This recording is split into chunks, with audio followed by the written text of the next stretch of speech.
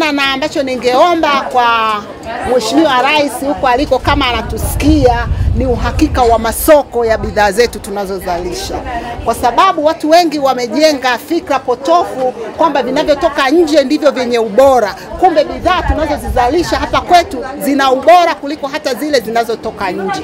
Kwa Kitu cha msingi ni kwamba eh, kuhusu changamoto pia e, vifungashio ni ishu kubwa sana, yaani ni tatizo kubwa hasa kama unavyoona, yani tuna, tuna inabidi ununue, inabidi utafute huku na kule, hata kwa bei kubwa inabidi ununue na ila tunashukuru pia Mungu kwa sababu SIDO sasa hivi kidogo wana wanatupa vifungashio kama hizi chupa, lakini vingine bado havijakidhi. Serikali ndio naiomba hivyo.